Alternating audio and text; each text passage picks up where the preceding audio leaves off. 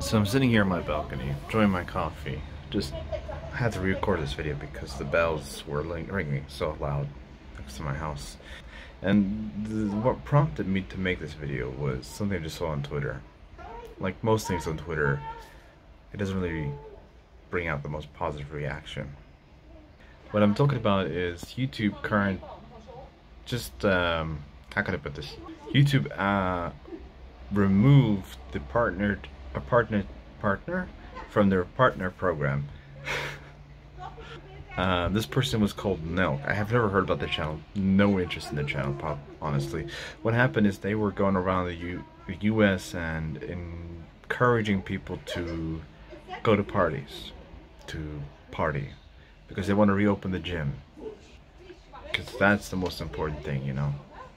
So these people then went out, had parties at colleges, and they had his name plastered all over their bodies and all over the place as a source of inspiration. YouTube saw this and they reacted. They removed him from the partner program program to cut his bottom line so that he can change his ways. Probably end up banning him if he doesn't stop. So what happens is the community reacts to this. Did they react positive? No, of course not. It's Twitter. People start complaining, oh, what about Onision? What about Lion Maker? What about this person? What about that person? What about this, this, this, this, this? this is an issue with the YouTube community, but not only YouTube, but Twitch also. Every time Twitch posts something on Twitter or anything, it's always, what about Alinity, Alinity, Alinity, Alinity, that's this, this, this, this, this, this, this, this, this, this. We as a community have to stop doing that because we're kind of like making it very difficult for the companies to communicate with us. We need to we need to give positive reinforcement when positive reinforcement is required and needed. In the case of Nelk, that was a very deserved move, and I think he should have been handle a little bit more strongly because this is, this is millions of people's lives that are being affected through his stupid stupidity. Like seriously, I even think YouTube went a little bit light-handed on him. But I will stand behind YouTube and say good job.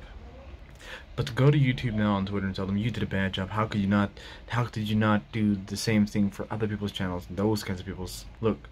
YouTube is a large, large ass platform. Some of these issues that was raised in the Twitter's comments was well known to them probably or not completely known to the right people it is a large company a large platform these issues will be probably taken care of it just takes a long time I honestly I don't know. Maybe I'm talking my, out of my ass. I just I'm tired of the negativity. I believe that our communities on Twitter and Twitch and YouTube have become so toxic so damn toxic that it is it is it's sickening.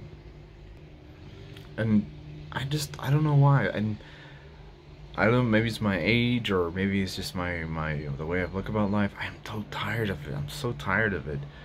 Going on to Twitter and uh, anything like just for instance like if you go to a, a Xbox post about the new console there's a bunch of toxic fanboys there. You go to a Sony post a bunch of toxic fanboys there. You go to anything nowadays you just find toxicness. The internet has become way too toxic for itself and I, I believe there needs to be done something done there.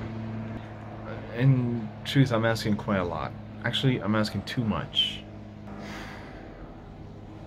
I don't know am I wrong am I asking too much all I can say is ah stop being toxic alright guys and girls I'll catch you tonight 8.30 p.m. UK Standard Time. I'm going to be streaming some different kind of game tonight. Not going. Maybe Valorant. I had fun with Valorant last night.